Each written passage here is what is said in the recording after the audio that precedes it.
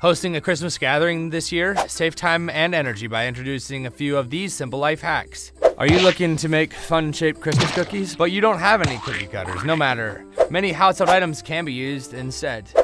So go to your wardrobe and take out a coat hanger, press that into the cookie dough, and guess what? Voila, Christmas coat hanger shaped cookies. Looking for a fun way to make homemade ornaments for your Christmas tree? You don't have to string together popcorn like they did in the stupid days.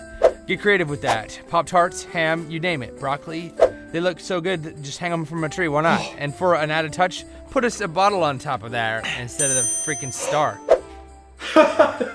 That's awesome. Cooking a ham for your holiday meal?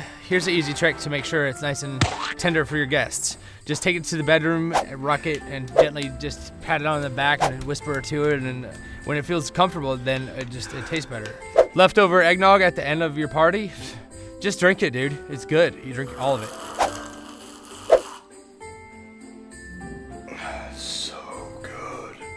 Mistletoe not giving you the desired effect for the what ladies. Just give it a spritz of some of that Cantonese anaconda pheromone and then get ready for some hot attention from the fair sex.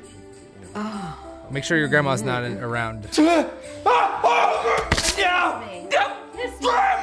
Tango Christmas lights getting you down?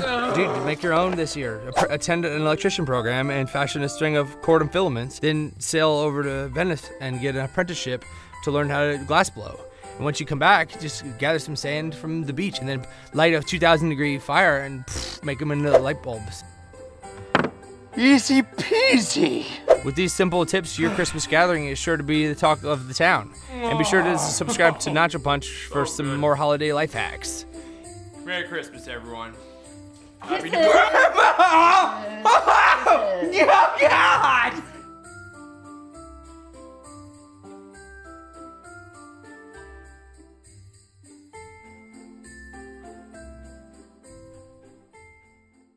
Nacho